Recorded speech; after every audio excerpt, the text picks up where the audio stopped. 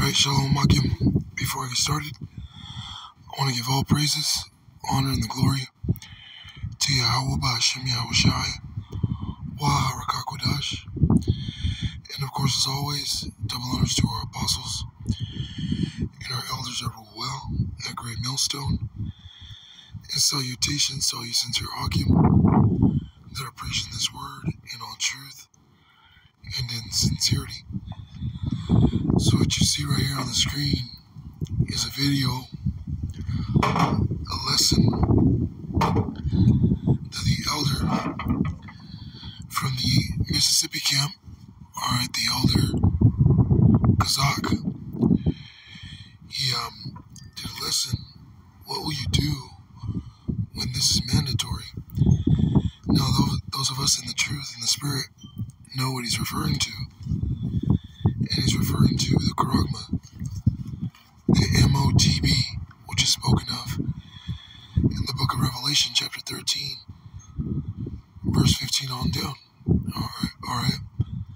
The micro C-hip, okay, which you're going to need, as it says right here on the screen, which you're going to need in order to buy, sell, trade, have access to, you know, general assistance, um, have access to benefits,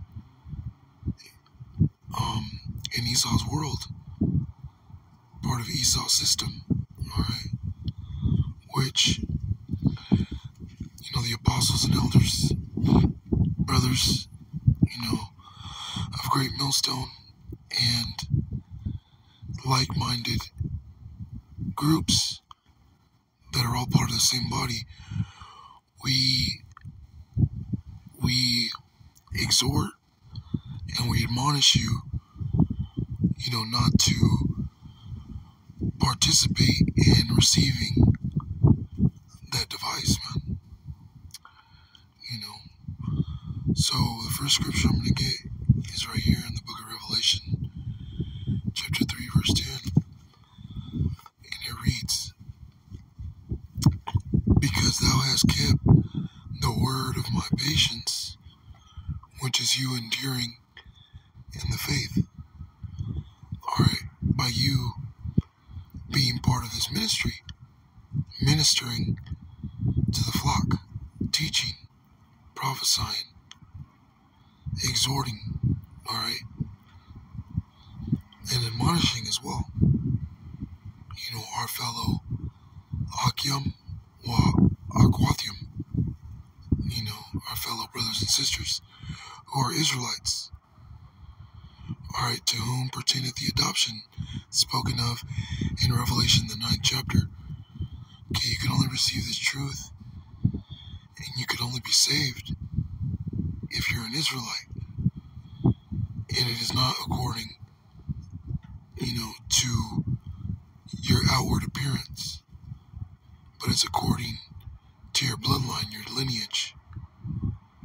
Okay? So, because thou hast kept the word of the Lord's patience, you know, and you, you endured unto the end, he goes on to say, I also will keep thee from the hour of temptation, which the hour of temptation is when Esau has you, you know, attempting to feed you, being idle with things offered unto idols, meaning when he attempts to chastise you, torture you into receiving the charagma, the micro hip, okay, the beast mark. Alright? It says, which shall come upon all the world to try them that dwell upon the earth. So the whole world is going to be tested. Okay, to receive that mark, to receive that device in their flesh. Alright, now the main world that he's going to try okay, is the world of Israel. Alright, you so called blacks, Hispanics, Native Americans, and of course, you Israelite foreigners. Alright? And they're gonna try us by all means. Let's get that in the Book of Wisdom of Solomon.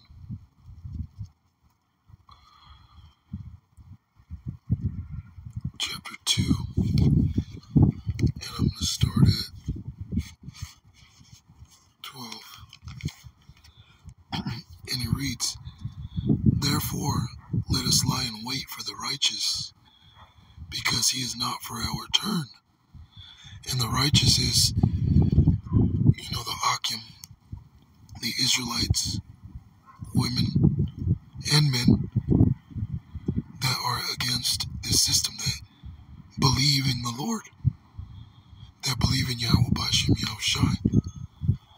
Now, of course, it starts with the elect, the prophets, because we're not for Esau's turn. Okay, we are not about to about to bow down to the image of the beast, to this man's new world order, to his wicked system. Okay, we're already against it. That's why we prophesy against Mount Seir. Okay, that's why we're shaking the hand at the nobles, which are the elite. Okay, the Illuminati. We're not for this devil's turn. We're totally against him. That's why we prophesy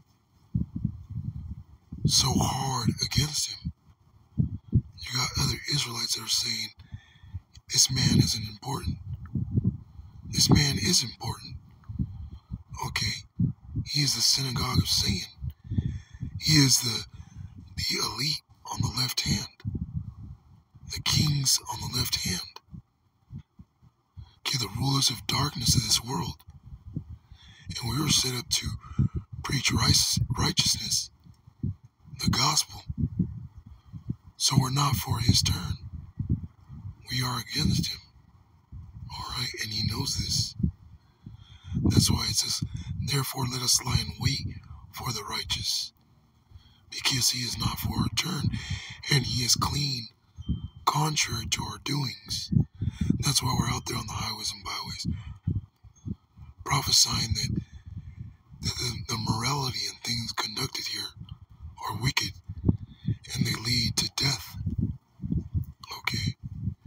It says, He upbraideth us with our offending law.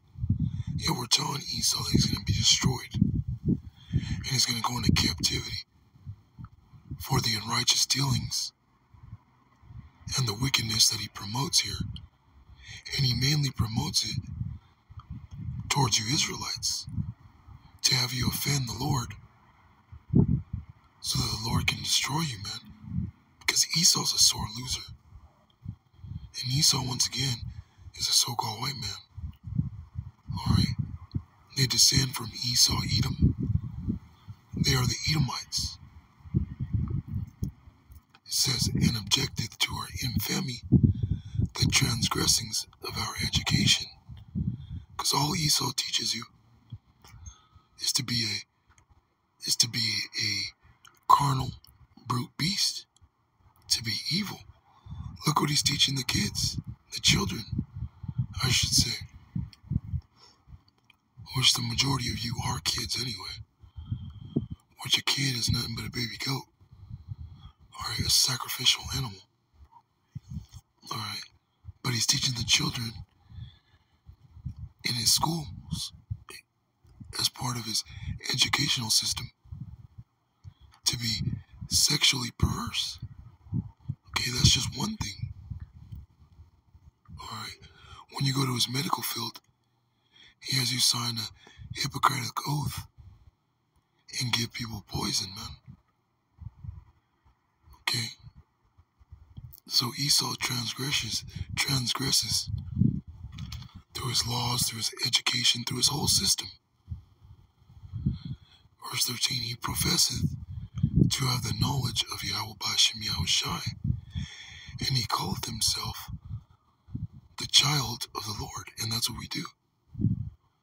Okay, we profess, this is our profession our job as Israelites to bring about the knowledge of the Lord.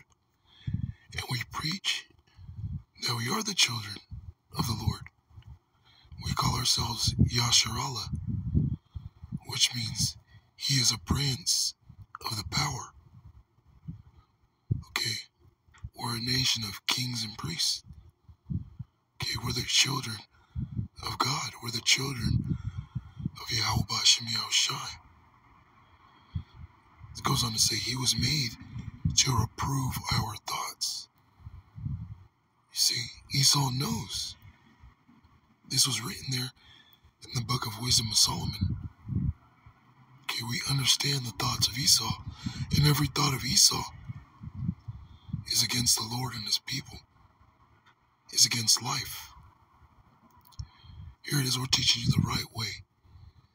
But Esau's whole system is to teach you contrary to Yahweh Bashem Shai and his laws, to destroy you.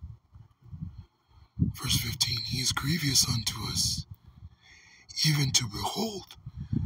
These devils don't want to see us out there on the streets, man. Okay? That's why they're doing everything in their power to keep the elect from waking up, to keep the one third dormant. Two thirds, they already have those. Satan already has two thirds. Okay? But this is grievous unto Esau. That's why, real soon, he's going to come down with that great wrath. It says, For his life is not like other men's, his ways are of another fashion, and our lives are not like other men's, especially not like other Israelites, whether they be of the circumcision or not, whether they know they're Israelites or not. Okay, our lives are, you know, very much simple. We keep to ourselves. We're not out there chasing after the ways of this world. You know, we're not even chasing after, you know, to try to make something out of our lives when it comes to this world, man. Okay, this is what we're focused on. Is preaching the word. Is is praying and hoping to be part of the elect. Says his ways are of another fashion. That's why people are so bugged out when they see us on the highways and byways every week. You know, some people are, will tell us, You're young. You got the rest of your life ahead of you. Why don't you go enjoy your life? You know, why don't you go chase, chase after girls? You know, start a family. Go to school. But that's not our fashion, man. That's not what we were created for. Okay, the existence of the elect, the prophets, is to do the will of the Lord and prophesy against Mount Seir. Okay, to prophesy of the coming and dreadful day of the Lord. Okay, to wake up the elect. That's our profession.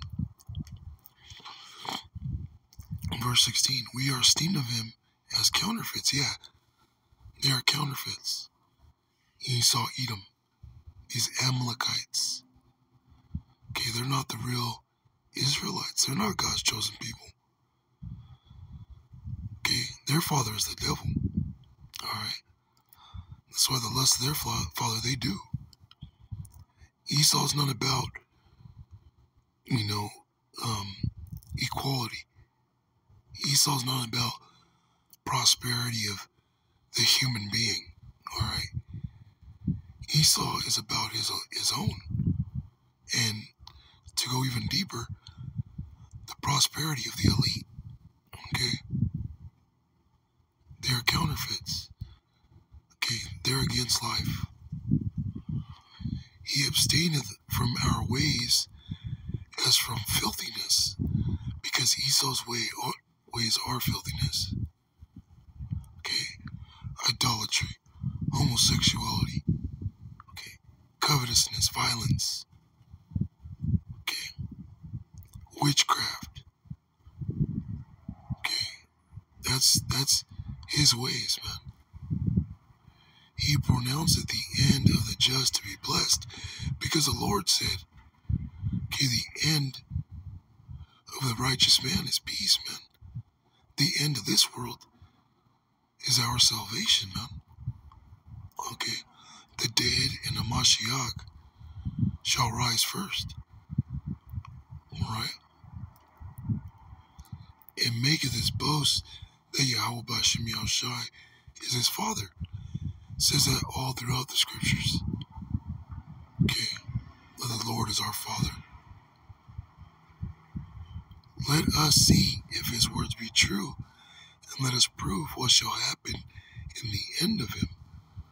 For if the just man be the son of Yahweh, he will help him and deliver him from the hand of his enemies. Let us examine him with despitefulness and torture. You see, they're going to try us, man. They're going to test us by means of torture, by means of despitefulness. Okay, they're going to uh, demonize us in the eyes of the world. And they're going to torture us in their synagogues, man. Okay, it says that we may know his meekness and prove his patience. Patience is a virtue, man. You need patience in order to make it through this. Okay. Let us condemn him with a shameful death, for by his own saying he shall be respected. See, so Esau's gonna come against us, man. Alright? They're gonna torture us. We're gonna be tried, man. But if we endure, the Lord is going to keep some of us from the hour of temptation. Some of us have to go through it. It's part of prophecy. But some are going to be delivered from that. Some brothers are going to get spiritual power and not have to go through that temptation, that trial of the mark of the beast. This is the last scripture I'm going to get, and I'm going to close it. It's Revelation 2 and 10. Fear none of those things which thou shalt suffer. Behold, the devil shall cast some of you into prison. And the devil is not talking about the spiritual demon, Satan. The devil is talking about Esau, Edom. The word devil simply means an accuser a slanderer, and that's a so-called white man. Says that ye may be tried once again, meaning tested, and ye shall have tribulation ten days. And that could be literally ten days, or longer, or less. Ten is just a number of completion. You could be in there an hour, minutes, or weeks, months. Be thou faithful unto death, and I will give thee a crown of life. So be faithful unto death. Alright, now the elder Kazakh posted, you know what will you do when it's made mandatory? Because it's going to be mandated. The whole world is going to be tried. So what are you going to do? Are you going to submit? Or are you going to be faithful unto death. If you are, the Lord is going to grant you and give you of life, which is rulership and eternal life. So with that, all praises, honor, and glory to Yahweh Bashem Yahushai, Wa and of course, as always, double honors to our apostles and our elders that rule well at Great Millstone and shalom to the hopeful elect, preaching this word in all truth and in sincerity. Shalom.